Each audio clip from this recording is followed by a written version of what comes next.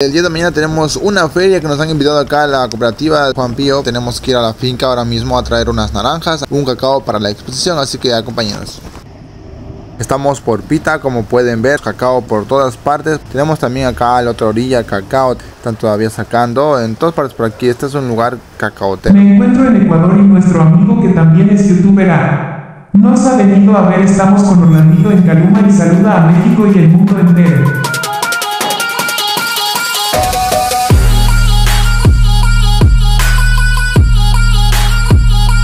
Chicos, ya tenemos la naranja y el cacao.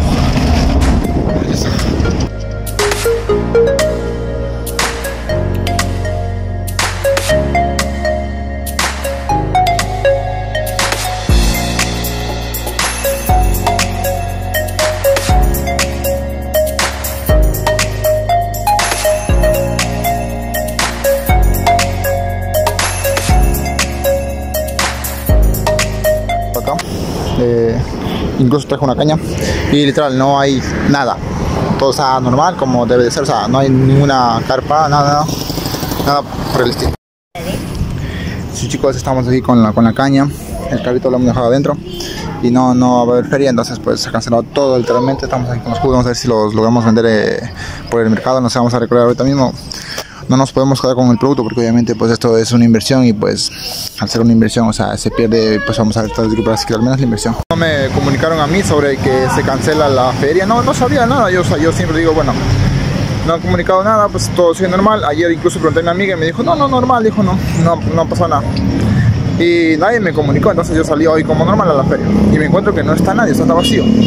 Ahora me tocó ir a vender acá porque tengo el producto acá y no, no se puede desperdiciar entonces tengo que ir a venderlo ahorita mismo y a ver qué hay, ¿no? No se vende mucho, pero algo, por ahí tengo que recuperar ¿no? para la comida, porque está comida peligrosa. Hemos venido a lo que es acá a desayunar. Ya nos faltan solamente tres botellas nada más. Eh, gracias a Dios hemos vendido casi todas. Son las últimas. Se ha acabado con, en la feria, no creo que se hubiera acabado tan rápido. Pero gracias a la gente de Caluma Viejo, que pues obviamente se acabó esto. Bueno, así que vamos al mercado a ver dónde podemos comprar cosas. Granos secos y también voy a comprar cebolla. Eh, ¿Esa es una libra? Sí. Póngale media más ya. Encontré con ese tomate, tremendo tomate. Es un solo tomate, ¿no? Tremendo tomate. Vean qué tamaño. Tiene habas. Hemos venido también acá en la tienda a ver si es que llevamos algo. No. Bien, hemos agarrado un poco de salchichas, lo cual esto no creo que se dañe tan rápido. Y bueno, vamos a ver este ahora qué más podemos agarrar.